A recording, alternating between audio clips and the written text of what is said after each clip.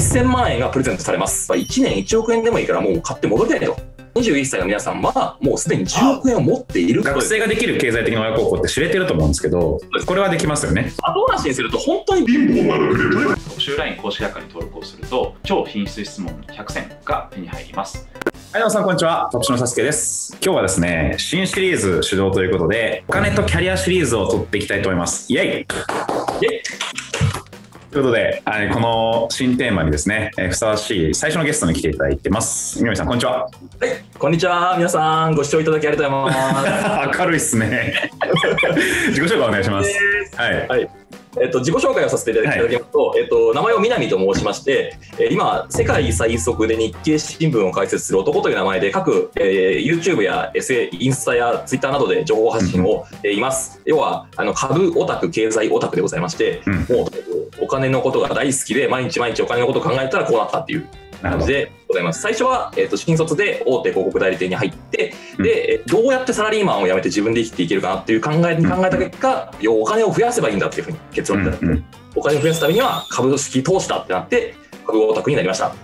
はい。確かにということで、もうあの就活の領域では動画何回も出ていただいてるんで、多分視聴者からすると知ってる方もいらっしゃると思うんですけど、今日はあのその就活の軸ではなくて、お金ですね。やっぱりキャリアとこう切って話せないお金の部分、やっぱりお金を稼いでいかないと、そしてね、できることが増えていかないというところで、ここのスペシャリストの皆さんにいろいろ聞いていくというテーマでございます。ありがとうございます。で、えっと、今回2本出演いただくんですけど、前半の動画では、えっと、大学生をターゲットですね。まあ、その就活手前の子から就活してる子から内定者までをターゲットに、お金の稼ぎ方、作り方、勉強の仕方っていうところを伝えていただいて、で、もう一本の動画では、社会人1年目から5年目ぐらいをターゲットに動画作っていければと思いますので、よろしくお願いします。承知しました。よろしくお願いします。じゃあ、今日の動画は、まず大学生がターゲットになるんですが、ズバリ大学生、お金について何をやればいいですかね？はい。結論からあの3点申し上げます。ありがとうございま1す。点目は、うん積立 NISA をしましょう。うんうんうん。2点目は、無料の株式投資ゲームをしていきましょう。楽しそうですね。はい。で3つ目は、親子で投資をしていきましょう。おー3つでいきます。なんか3つとも面白そうですけども まずじゃあ1つ目からいきましょうか、はいここは結構聞いたこともある人いるかなと思うんですけど積み立て NISA ですねはい。結論から言うと、国が認めた、もうどうしても日本国民に投資を始めてほしいから、ボーナスをばらまきまくってでも、みんなに投資を始めてほしいという国からのプレゼントの枠、うん。それを日本国民全員が持っています。プレゼントされた超有利な枠をみんなで使っていこうよという話でございます。なるほどなるほど、まあ、資産形成の一環だと思うんですけども、はい学生から見ると少額で有利に始められる資産形成みたいなイメージですかねその通りでございます。もうちっちゃい金額でもできます。大学生であれば、まあ、月3000円からでもいいので、ぜひ始めましょうという話でございます。なるほどなるほど3000円あったら誰でも準備できる。1日バイトすればあの始められるので始められるものだと思うんですけどもこれは大学時代から始めるメリットとか社会人になってからいいんじゃないと思ってる人多い気がするんですよ。そこってどうですか？すごく大きいメリットがありまして、それはうんうん。結論から言うと時間です。うん。時間が何かというと、この月3000円からでも投資を始めると、日々の習慣が変わるんですね。習慣というのは、例えば日々歩いていく中で広告を目にしたりとか、テレビを見たりとか、日々流れている、今まではスルーしちゃってた情報が、ものすごく気になって、情報をインプットする習慣がつくようになるんですよ。うんそのうん人がとにかく早ければ早いほど、後々大きな財産になってくるんですね。と言って、ものすごい濃い時間を得られるという意味で、月3000円から投資をしてみるっていうのが、僕の中での一番のおすすめの方法でございます。なるほどなるほどじゃあその本来の多分 NISA の目的っていうのはやっぱ積み立てることでリターンが得られる部分もあると思うんですけども学生目線で見た時は経済情勢にアンテナが張れるとか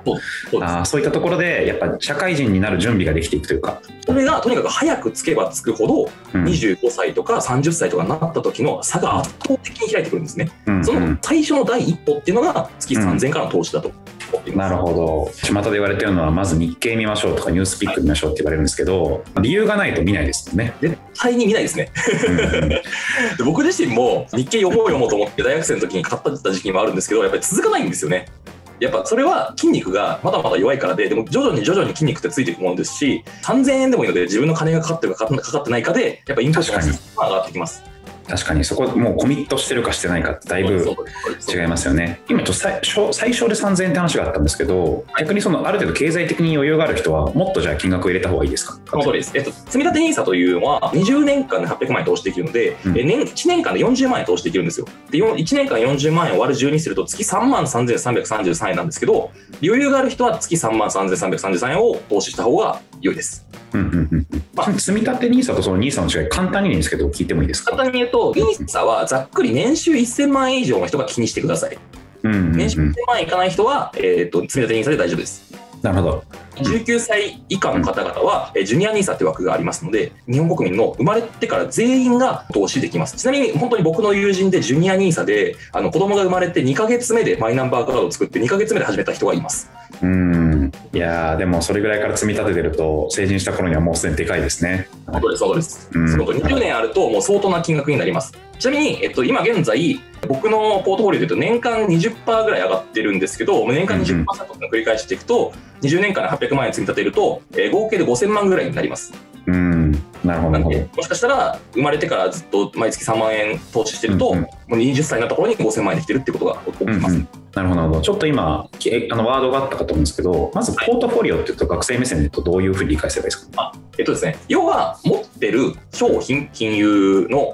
資産ってことですね。僕自身はもう本当あらゆる商品を持っていて、投資信託でもいろんな商品持ってますし、まあ株も大量に持ってますし、まあ、不動産もたくさん持っていて、うん。もちろん現金も持っていてっていういろんなものを持ってるんですけど、それを全部合わせるとポートフォリオっていう感じでございますので皆さん、学生からすると、まあ徐々に徐々に増えていくものなんですけど、うん。まずはポートフォリオの一つとして、今まで皆さんは現金しか持ってなかったと思うんですけど、その現金から、まあ、株式投資として金融資産ですね、まあ、投資信託と言われる金融資産を、まあ、月3000円でもいいからちょっとずつ増やしていくっていうことをしていくといいと思います。なるほどなるほど。それがこの皆さんあと年間20%増えてるっていうところ。今は20%増えてます。なるほどすごいですね、うんうん。それが福利の力が効いてくるんで早めに始めれば始めるほどそれが雪だるま式にその通りです。手で、軽になってくる。お金的な福利もありますし、さらにまあ自分の知識とか、そのあっていうところも福利で増えていくので、とにかく早ければ早いほど、両輪でなるほど、ね増えていくと。まあまあ、学生が持ってる資産っていうのは実は現金だけじゃなくて時間という資産がありますので、うんうん例えば僕、ものすごくあの富裕層の、えっと、友人に会うこともあるんですけれども、うんその人がやっぱり言うのは、やっぱり1年1億円でもいいからもう買って戻りたいと。だから僕今31歳なんですけど、じゃあ僕10年戻ろうと思ったら10億円かかるわけです。逆に言うと21歳の皆さんはもうすでに10億円を持っているというふうに思って行動すると、まあ、時間の使い方も変わるんじゃないかなというふうに思っています。うんうんうんうんそこに気づけてない人が多すぎるのでこの動画で気づいてくれるといいですね、時間で10億円分の価値を持ってるっていうふうに気づいてもらえると嬉しいかなというふうに思ってます。うんうんありがとうございます。2つ目はあのトレーダービという無料のスマートフォンアプリのゲームがありますので、それをやってください。おーなんか楽しく学べそうな匂いがしてます。無料なんですけれども、口座を開いたというか、アカウントを作った瞬間に、なんと1000万円がプレゼントされます。おめでとうございます。あーおめでとうございます。これはあくまでゲーム内ですよね。はい。はい、誰でも1000万円持ってます。架空の1000万円を自分の好きなように、実際にある上場企業に投資ができるんですね。あこの1000万円を、えーうんソニーに使いましたとか、三菱商事に使いましたとか、ーいい点としては自分のお金使わなくていいんでリスク取らなくていいっていうところとあとこうやって実銘柄の投資ができるからリアルに勉強ができるっていうそうです。2点ですかねその通りです。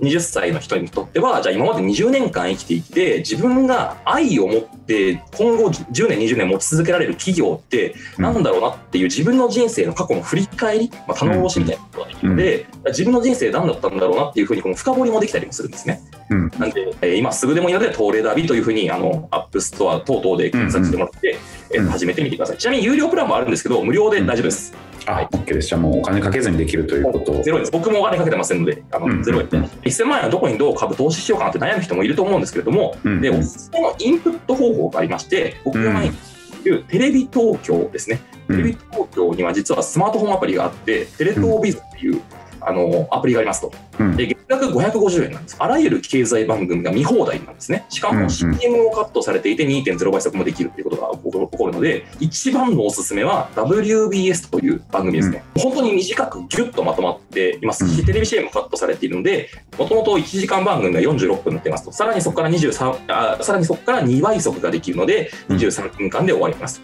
で、うんうん1日23分間で上質なインプットができるので、このテレ東ビズは月550円は払った方が僕はいいと思ってます。なるほど、なるほど。じゃあ一応そのインプットの WS と、えっと、アウトプットのトレダビっていうところで、この2点は概要欄に貼っておきますので、え WS は550円かかりますから、トレダビ無料できるということなので、それぞれ皆さんぜひ、あの今日からでもね、始めるものなので、始めてみてください。やってみてください。じゃあ次3点目いきます。3点目は親子で投資という面なんですけれども、うんうん。今学生の皆さんは現金を持ってないと思うんですけれども、でもうんうん親世代ですね、まあ、うん40、50代、60代とかの親の世代だと思うんですけれども、うんやっぱり現金で寝かしてるケースってものすごく多いなと思っていて。なので、えっと、お父さんお母さんに NISA、積み立て NISA っていう制度を教えてあげてください。うんそして一緒に親子で投資を始めること。そうなってくると、親子で裕福になれます。うんうんうん。のであの、ある意味親孝行にもなると。息子がそうやって国の紙制度を自分で調べてきて、そうやって親に提案してくれるなんて、親からすると感激のことなので、うんうんうん。やってみてほしいなというふうに思っています。なるほど、なるほど。やっぱりそうですよね。あの NISA の枠ってその一個人に紐づいてるものなので、家族内でしっかりそこのポートフォリオが作れれば、それはそれでやっぱり機会の最大化にもなりますし、学生のさっきの時間の有効な使い方でもあるし、親世代ってどうしてもその現金で持つ文化が根付いちゃってるので、そこをちょっと若手世代のみんなが引っ張り出してあげるというところは、学生ができる経済的な親孝行って知れてると思うんですけど、これはできますよね、一つ。できます、できます、できます。うんうん。なるほど、なるほど。ありがとうございます。3つ目は、親子で投資しましょうと。どうしましょうと。で具体的には親子にも、お父さん、お母さんにも積み立て NISA の口座を開設してもらって、そうですね。えーお金をしっかり入れていきましょうと。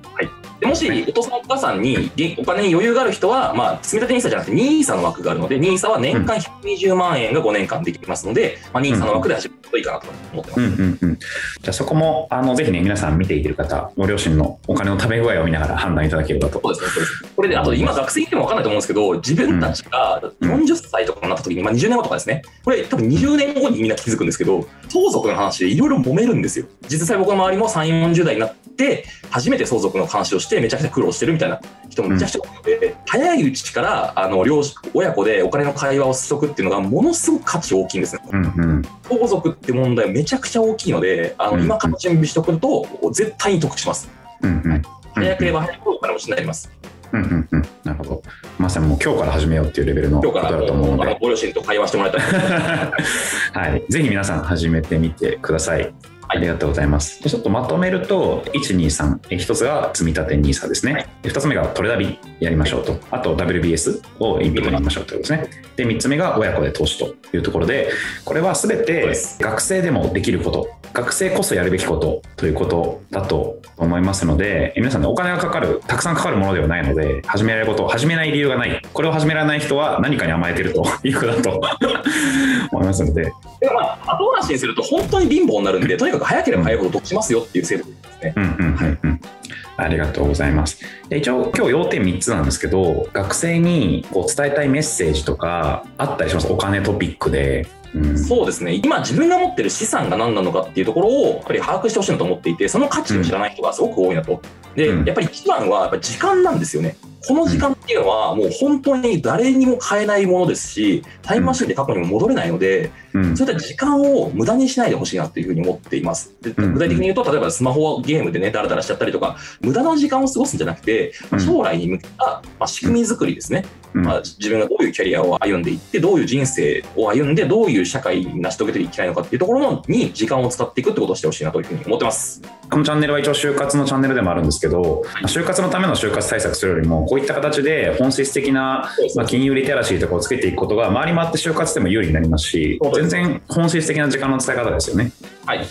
うんお通りです。ありがとうございます。じゃあ今日はちょっと大学生向けに、えー結構リッチな動画が撮れて僕は嬉しいんですけども、えっう、と、噂によるとこういう動画が見れるチャンネルがあるとかないとか、どうやらですね、YouTube という無料のプラットフォームで、全部無料で発信してる、なんか気のいい人がいるらしくて、セカニチお金の道場という名前でですね、あのはい YouTube でお金やいろんなことを話しています。ちなみに面接や ES の話もしています。うんなので、概要欄にですね、今日話した積み立て NISA の話ですとか、あはいのテレ東の話ですとかっていうのを書いておきますので、あのぜひチャンネル登録と動画視聴をしていただけたらとても嬉しいです。よろしくおありがとうご願いします。ざいます。で今日はね、あの結構、まあ、1本でまとめようと思ったんで、今概要って形になっちゃったんですけど、もっと深くそれぞれを見たい人とかなんかはそうですね。見れると思います。ので、概要欄の方からぜひ南さんのチャンネル、まず、こういう内容が見たいよというご要望等あれば、ぜひコメント欄でぜひご意見をガンガンいただけたら僕もあのうん。うん嬉しいので、ぜひ教えてください。はい。ぜひじゃあコメント欄にね、今日こういうの知りたいですとか、疑問点とか、要望とかあればみんな書いてもらえれば、南さんはあのめめちゃくちゃアクション早いので、コンテンツにしてくれると思います。10分以内に見れます。あのちなみにあの親親親ともね、親とお金の会話してみましたとかに、親と積み立て NISA の話してみましたみたいな人もぜひコメント欄であの書いて教えてくださああ、いいですね。うんうん。い。